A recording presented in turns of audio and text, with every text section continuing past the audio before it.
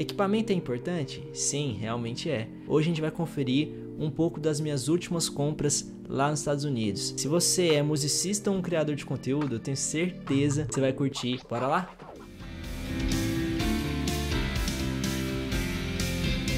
Se você quer trazer mais qualidade para os seus vídeos, suas fotos, você tem que basicamente investir em três aspectos, né? O vídeo junto com a iluminação, que é fundamental, e o áudio também de extrema importância. A pessoa até que pode ficar com uma imagem mais ou menos ruim, ver um vídeo não tão Full HD, 4K, não sei o que, mas o áudio, cara, o áudio é complicado, porque você tá ali escutando, às vezes a pessoa nem tá vendo o vídeo, né? Coloca o vídeo só para escutar, então o áudio é fundamental. E é isso que a gente vai ver nesse vídeo, nesses três aspectos, o que eu comprei lá nos Estados Unidos para trazer mais qualidade para vocês. Antes da gente investir nesses três aspectos, é importante ter o que? Ou um computador bom, ou um celular bom. Até muito tempo atrás eu gravava todos os meus vídeos só no celular. Eu gravava com um celular para captar o áudio, que eu ligava numa interface de áudio para celular, que eu falo mais isso nesse vídeo aqui. Depois eu gravava com outro celular o vídeo e aí juntava os dois numa edição no próprio celular mesmo. Usava um aplicativo nativo ali do iPhone, que era o iMovie. Mas enfim, você consegue fazer isso no InShot e em outros. Pensando nisso, o que, que eu fiz? Investi num SSD melhor. Lembrando você que todos os produtos que eu falar aqui vai estar tá com link da Amazon, que é onde eu comprei para você também adquirir se você quiser, se você achar interessante. Se você comprar por esse link, você vai estar tá acabando ajudando o canal também. Então é bem bacana, beleza? Sem mais delongas, bora ao vídeo. Primeiro item, esse item aqui, ó, SSD Evo Plus. Rapaz, esse SSD aqui foi um achado da Samsung, 500 GB. Ele é muito bom. Ele é bem rápido, é M2, bacana, né? O computador que eu tenho, eu tenho um Nitro 5, como vocês podem ver na imagem aí. Já tava com SSD bacana, um de 128 e 1 TB de HD. Só que eu decidi fazer esse upgrade no SSD justamente para envenenar essa máquina aqui para ele ir mais rápido ainda. Olha a velocidade que ele tá ligando o PC.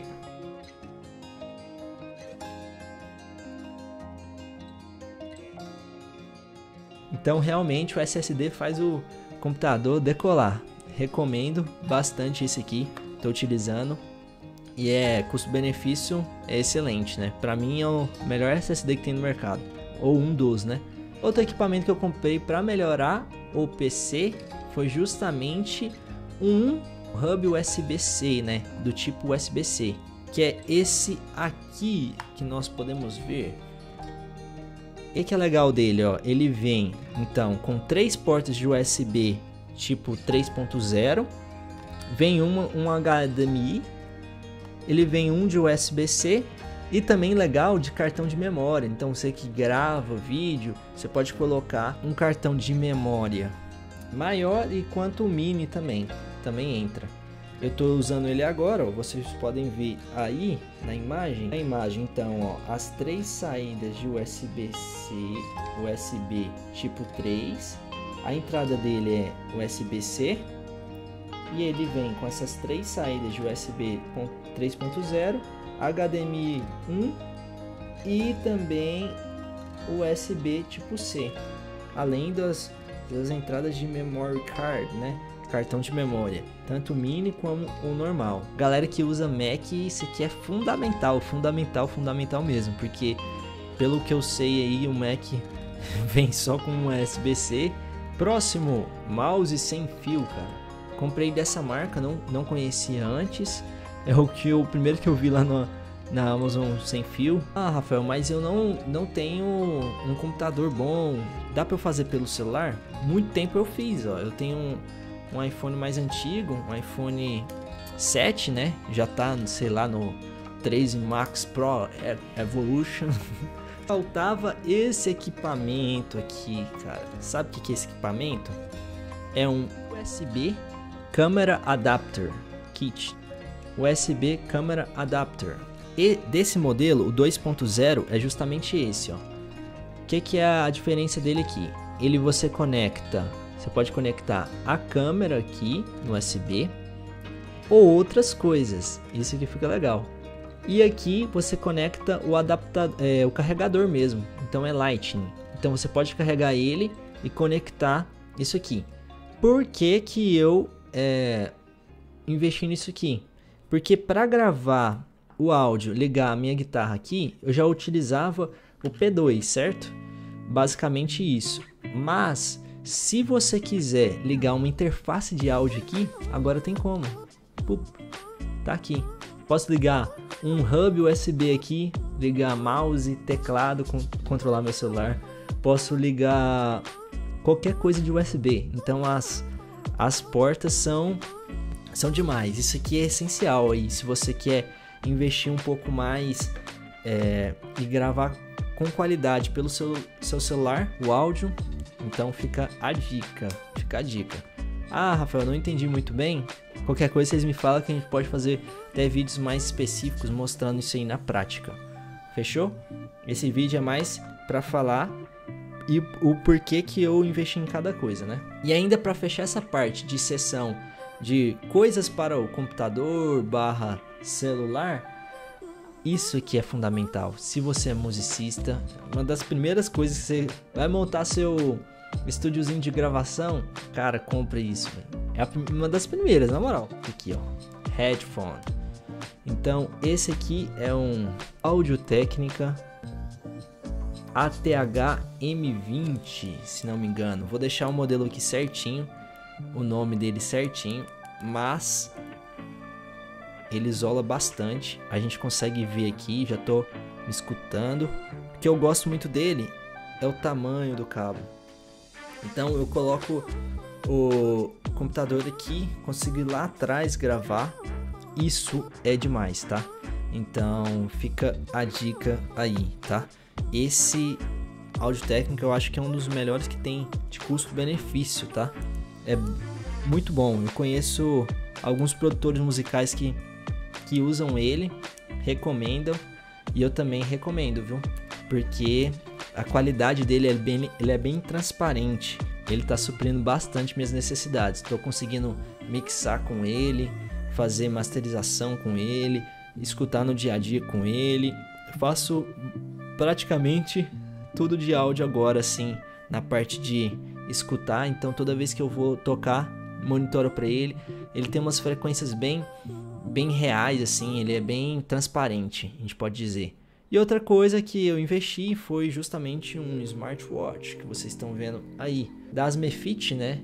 Essa empresa chinesa, bem bacana, bem custo-benefício também. O que eu mais utilizo nele é isso aqui. Ele tem um alarme, o Pomodoro. Cara, isso eu utilizo demais. Esse Pomodoro, se você não sabe, Pomodoro é uma técnica que você tem de concentração, que estudos dizem que a gente não consegue ficar mais do que 25 minutos a meia hora concentrado em uma, uma atividade. Então é você pegar a atividade que você tem e fracionar em blocos de maneira bem simples, né? Então eu pego, faço meia hora de foco de concentração, descanso 5. Faço meia hora, descanso 5. Aí depois que você fez cada ciclo, cada desse, essa parte de concentração, descanso, é um ciclo de Pomodoro. Fez quatro Pomodoro, você faz um descanso maior, de 15 minutos. Aí tem a recomendação.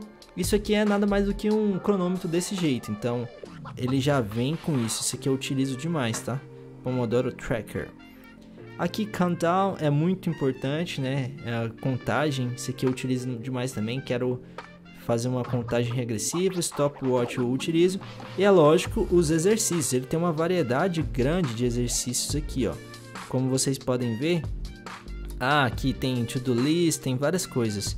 Ele mede nível de estresse, de O2. Você pode tirar a foto por ele aqui, controlar.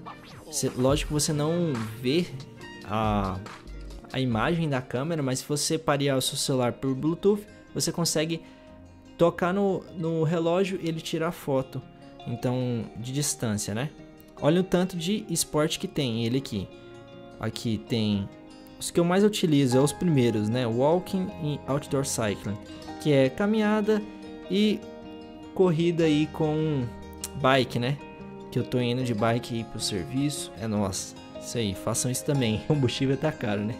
Bora lá, um tanto de exercício, um tanto. Enfim, esse relógio aqui é bem bacana, vale também aí o investimento. E nessa parte de vídeo barra iluminação, eu investi muito em iluminação, já que eu já tinha uma câmera, né? Já tinha adquirido aqui mesmo no Brasil, que é uma Canon SL1, uma, uma câmera mais simples, já adquiri com a lente do kit, mas à medida que a gente vai evoluindo, aí a gente vai evoluindo também de câmera, lógico que é sempre bacana. A única questão dela é que ela não tem a tela dobrável, né? Mas você consegue utilizar, como eu estou utilizando aqui, por exemplo, com um cabo que conecta ela no computador e aí você consegue monitorar pelo computador. Como vocês podem ver aí, ó, que a câmera está ali e eu estou monitorando aqui pelo computador, certo? Bem simples, bem simples mesmo. Então, já que eu já tinha a câmera, o que, que eu investi? É, toda câmera vem com uma bateria como essa que está aparecendo aqui.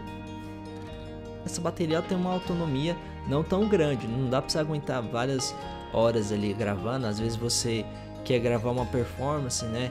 Você tocando na igreja, por exemplo, também meia hora ali, já, já acabou a bateria, né? Dependendo do uso. Então eu investi numa bateria infinita, também conhecido como Dummy Battery.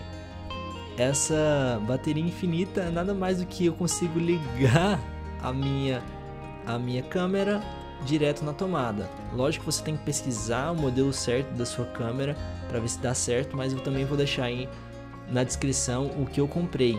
Essa essa que está aparecendo aí na imagem é justamente a bateria infinita que eu chamo assim, que eu não sei outro termo que, que fala, mas é basicamente você ligar a sua câmera na tomada.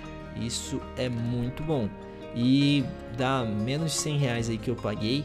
Não sei como está o preço de hoje em dia, mas eu recomendo você ter uma dessa. Não vai depender só de bateria, vai por mim. Para iluminação eu investi em dois painéis de LED menor que para funcionar como é, luz, né? Para mim ainda não tem um softbox ou algo do tipo. Eu uso as ring lights que eu já tinha e agora utilizo isso aqui, esse aqui.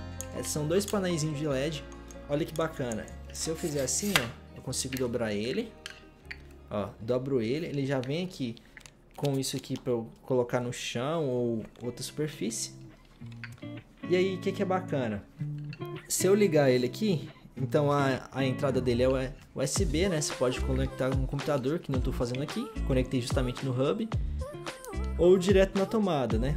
Então, ó, ele, você tem a, o controle de intensidade. Ó a diferença que dá. Intensidade. Ó, ele fica bem fraquinho mesmo aqui no Store. E ou ele pode ficar 100%, que eu vou estar tá todo estourado. Então, esse aqui é bem bacana, o controle dele é bem esse aqui, ó, simples. E o que, que é legal? Eu posso tirar isso aqui e ele fica mais forte, né, o LED. E ele meio que ofusca, né, difunde a, a luz, né. Não sei se esse é o termo correto mas vamos colocar aqui. E o que, que é bacana? Então veio dois desse, né? Ele vem, ele não vem tão alto assim, tá? Mas ele tem três etapas aqui. O que é bacana é que ele vem isso aqui, ó. Isso aqui então eu posso mudar de cor ele, ó. Se eu quiser, ah, eu quero azul. Meia hora depois. Olha que satisfatório trem. E aí, agora temos luz azul, ó. Tá vendo? Azul mesmo. Aí, quero azul não. Beleza, não coloca azul não. Vermelho então. Aí, vermelho. Então vem essas cores, vem azul, vermelho e amarelo. Esse aqui já é o primeiro investimento em iluminação que eu fiz, que é bem portátil, é bem fácil de, de levar. A gente pode deixar ele isso aqui como luz ali eu tenho um agora como luz principal ou até como luz de fundo, né? Outra luz fundamental que eu investi foi justamente essa danada aqui, esse LED aqui é, é top demais, LED RGB que tá fazendo esse fundo que vocês estão vendo aí. Justamente isso aqui, ó, esse LED RGB, rapaz, G2 aqui, o que que ele vem? Além do LED, como vocês estão vendo, eles têm vários modos, né? Aqui ele ainda vem isso aqui para você conectar numa câmera, então eu posso colocar ele, acoplar ele na câmera, o LED. Ele vem aqui com um carregador USB tipo C e ainda vem com um tripod, né, um tripé, um mini tripé aqui que dá para você colocar ele e colocar outras coisas, inclusive estou utilizando ele agora para sustentar isso aqui que a gente já vai falar mais para frente. E uma bagzinha bem bem confortante aqui, ó, bem confortante é bom, né? Bem confortável. Você pode controlar tanto a temperatura da cor, então você pode fazer controlar a questão dos kelvins, né?